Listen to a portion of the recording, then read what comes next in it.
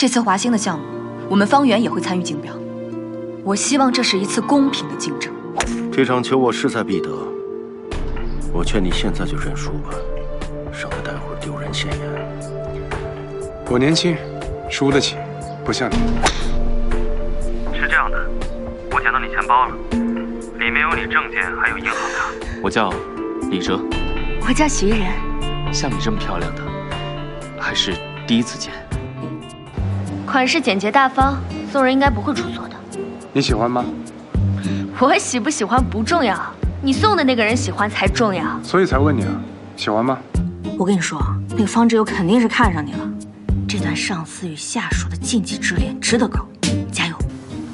仔细一看，这个灭霸长得还挺帅，眉清目秀的。你敢再近一点？